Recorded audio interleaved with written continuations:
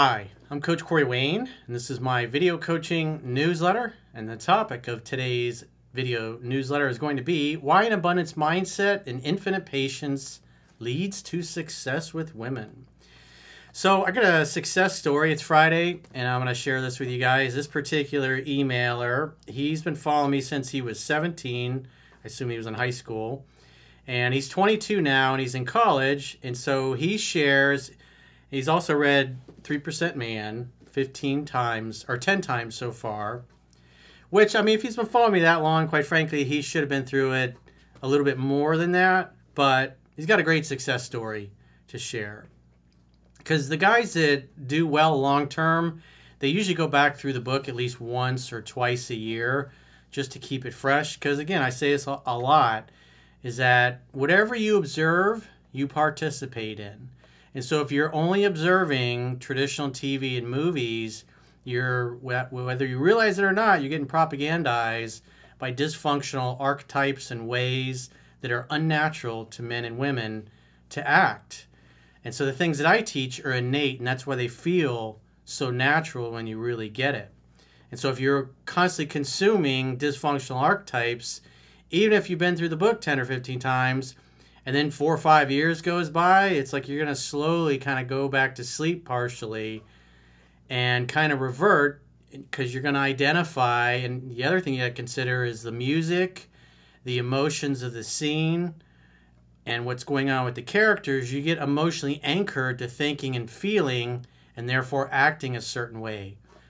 So we tend to move towards things that feel pleasurable and away from things that are painful. And whether you realize it or not, when you consume this dysfunctional nonsense that's piped into our homes and over the airwaves as media, you literally can't help be- but become propagandized and emotionally anchored to dysfunctional ways of being and thinking that are incredibly inefficient and they go against our very nature and what's innate with men and women. And so this particular guy he shares a success story of how having an abundance mindset, talking to multiple women, not getting hung up or attached to any one particular girl until he you notice that she's really into you.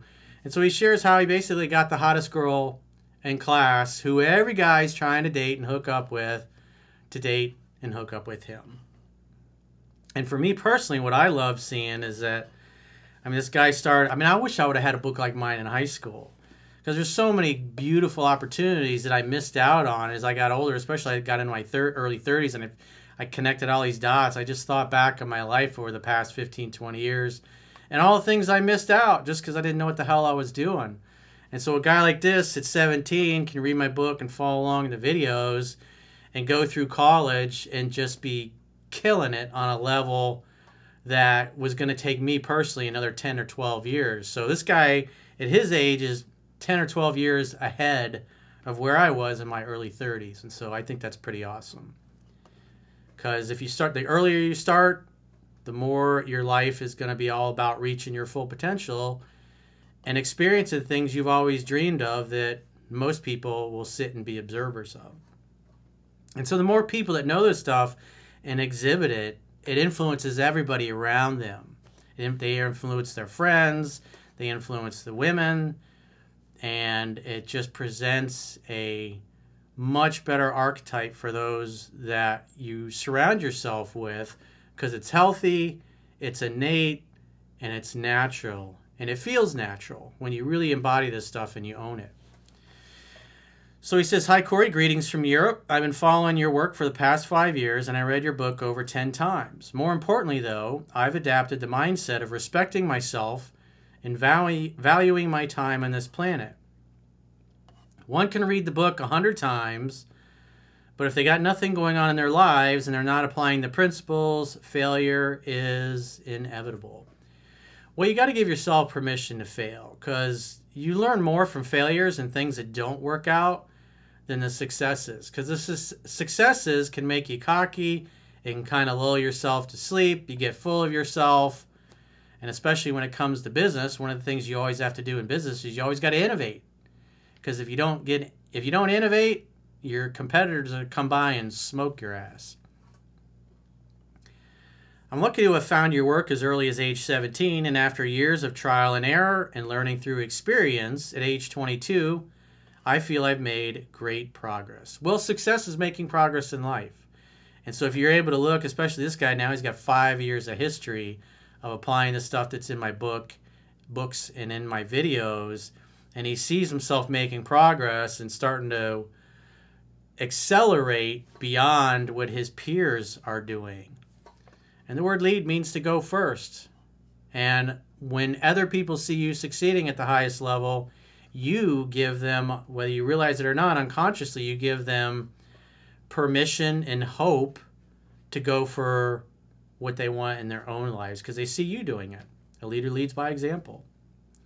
I still revisit your material once in a while to keep it fresh in memory.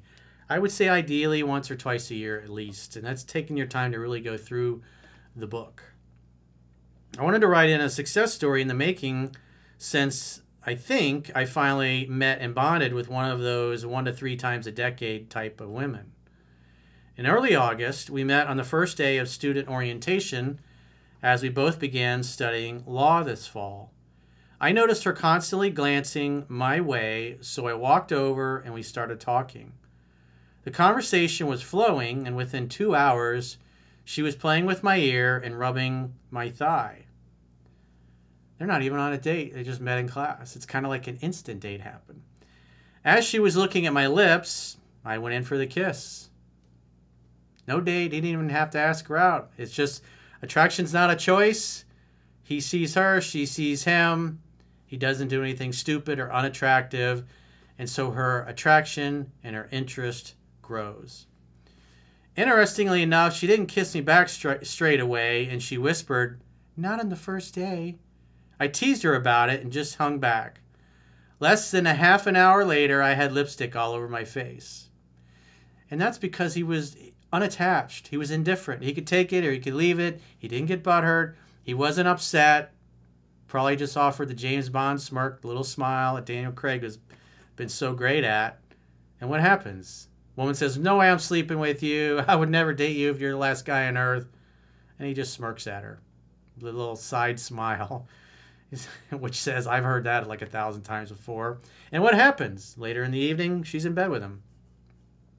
She says, not on the first day, but yet, half an hour later, she's all over him. And he's got lipstick all over his face. On the first week, we had an event every night. I made a lot of friends and therefore talked to many other girls too. Every night at some stage, she would put herself in my orbit, so I really didn't have to work at all and unsurprisingly, the Indoor Olympics happened later that week.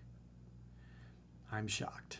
See how easy that is? I mean, this is natural. This is the way things are supposed to work when two people like each other. And when you consume all this bullshit that's on TV and the movies, it just gets in the way of what's natural and beautiful between human beings. During the first few weeks, we saw each other a lot, but I kept the vibes playful and I let her do almost all the pursuing since her attraction was a 7 to 8 on a scale of 1 to 10. However, during a dinner event one night, she pulled me to the side and said she thinks we're moving too fast and, and that she's not ready for anything serious.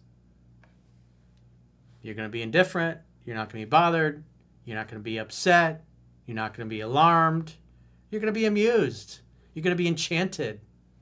Again, the smirk. We've all heard it before, right? And then what happens?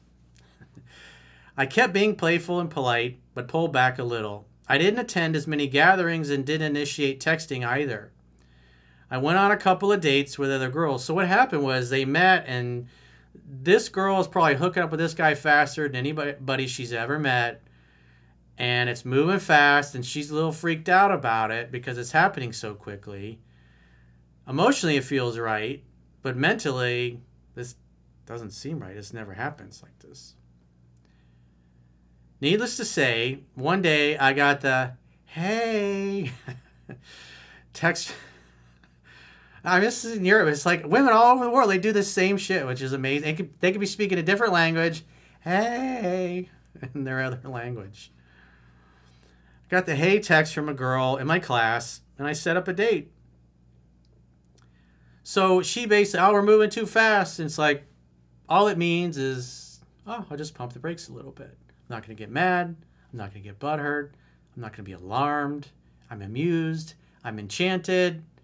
And it's my signal to make sure I'm talking to some other ladies because maybe there's another girl who I click with, maybe even on a better level because these things tend to go in twos and threes. When you meet one like this, shortly thereafter you meet one or two more. That's it's always been like that. It's just like getting a speeding ticket. You get one speeding ticket, then it seems like you get one or two more shortly thereafter, and then you go years without any infractions. It's just kind of weird how the universe works. You go through a dry spell, then you meet one girl, and then another girl, and then another girl within a matter of days or a couple of weeks.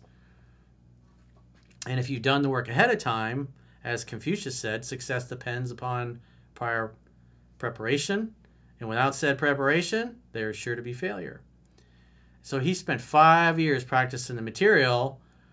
So when he meets this girl, it's just easy and effortless. She's feminine energy's chaos. She's freaking out a little bit about how she feels and how things are moving. And he's just, eh, he just goes and spends time with other girls and other people. He's not alarmed. He knows you'll be back. The kitty cat will return when it misses him. We did the three H's, and from there, her attraction has been rising steadily for the past month.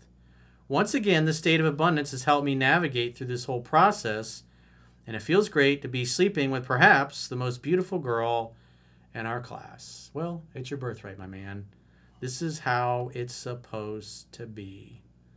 It's not supposed to be a once in a lifetime event or something that just never happens or that only happens in the movies.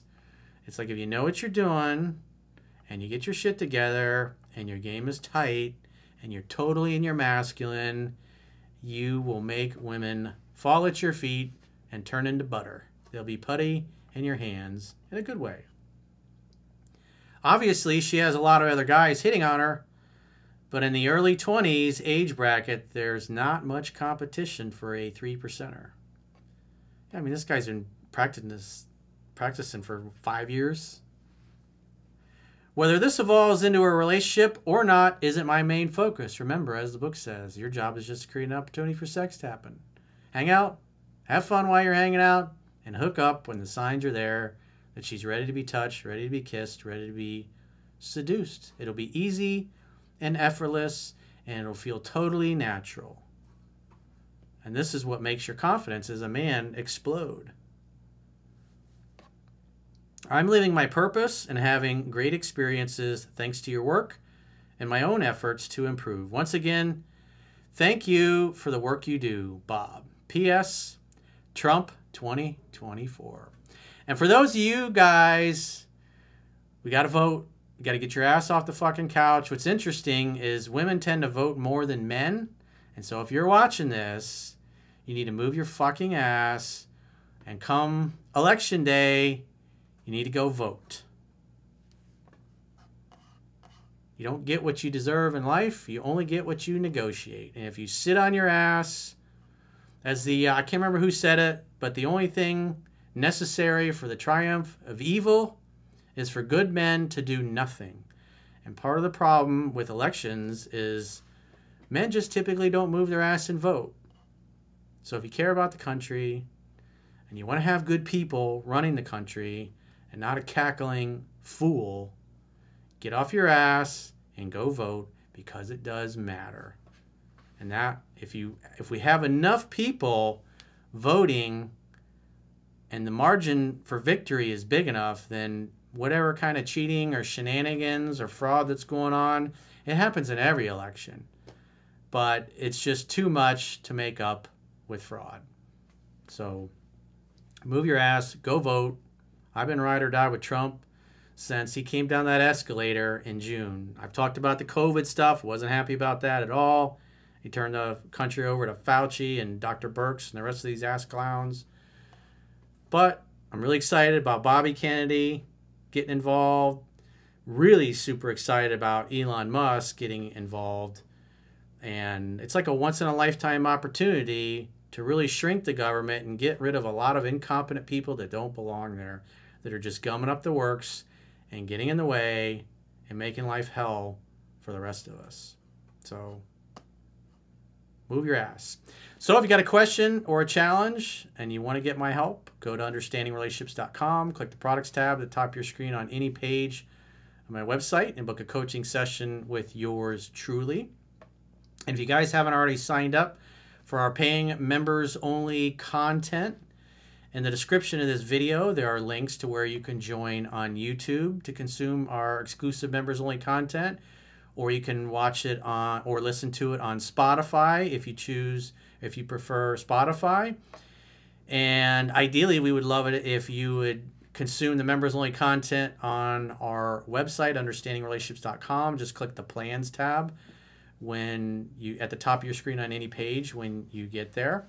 And so on the website, we've got a seven day free trial so you can check out what kind of content you get for your money, or I should say, what extra content you get for your money. You can do a monthly plan or an annual plan. And if you choose an annual plan, you also get a 25% discount for paying the whole year up front. And so what you get is you get five additional paid members only video newsletters similar to this one. Obviously, on the website, you get the email analysis. But if you just want to watch videos or I or just listen to the. I would say if you only want to watch videos, YouTube is good for that. Spotify is good for that. If you like to just listen to them, I'd say I Spotify is probably your best bet. It's going to give you the best experience because of the paywall that's on YouTube. You really can't. If your screen goes to sleep, the video will stop playing. And I don't have any control over that. That's just the way YouTube's system works. But you also we also do a weekly. We have a class on 3% Man, and we have a weekly class on mastering yourself where we literally go page by page in both books. It's like I said, it's a weekly class. We get to the end of the book, we start over, we go back. We're going to be having, we have viewer questions that people send in where they ask a specific page or paragraph in the book or and ask for clarification or examples or whatever. So it's like an ongoing weekly class that we really go in depth in both what's in 3% Man and what's in Mastering Yourself. So definitely go sign up to our members area. Again, you can do this free free trial, seven day free trial doesn't cost you anything, and you can see what you get for your money. Plus, you get access to obviously all the other hundreds of videos that we got that are members only on the website, and they're also on YouTube and on Spotify.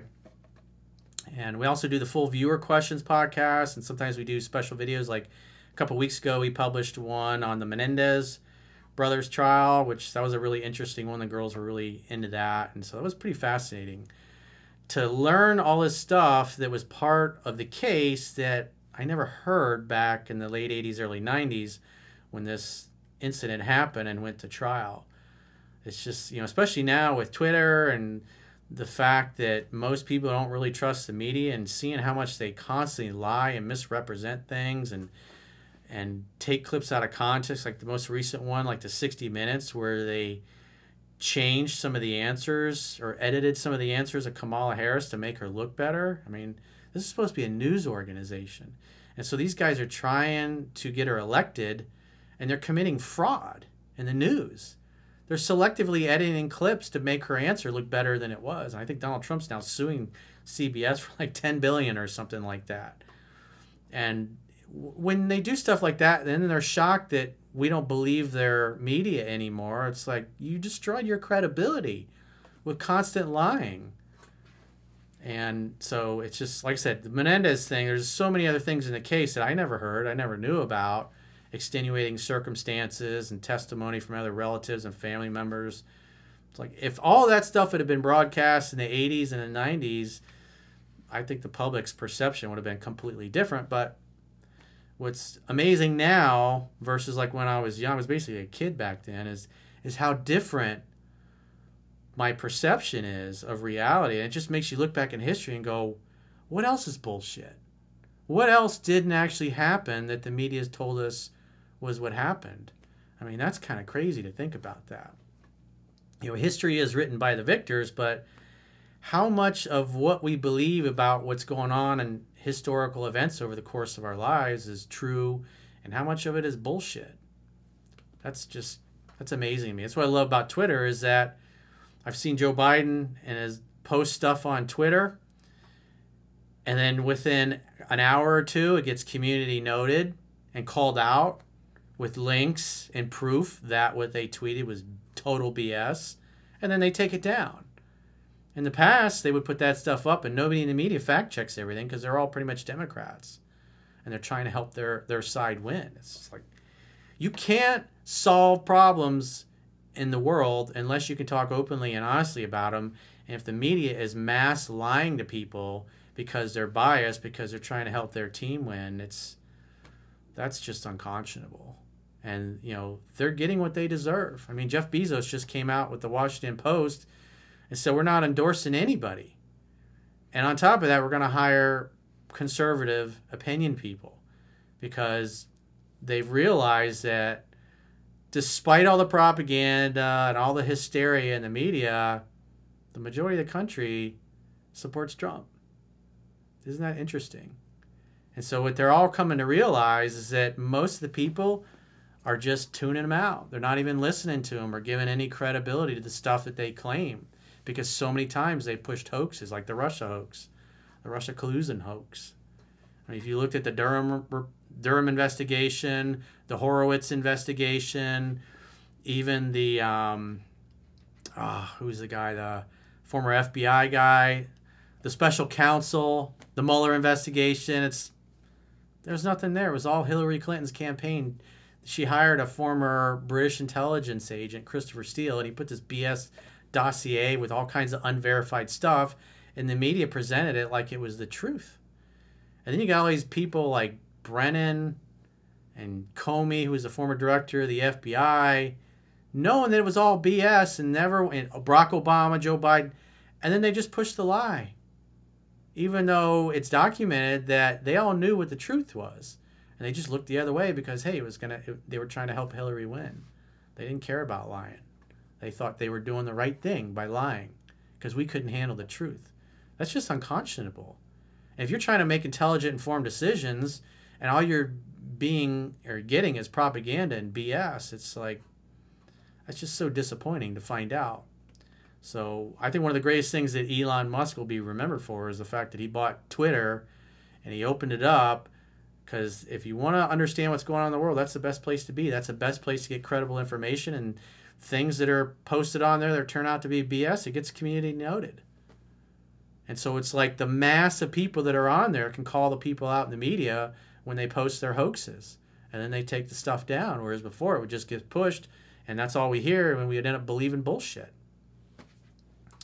Anyways, I digress. Thanks for listening to my little rant. Go sign up for our members only content. Again, the links are in the video description or just go to understandingrelationships.com and click the plans tab when you get there. Until next time, I will talk to you soon.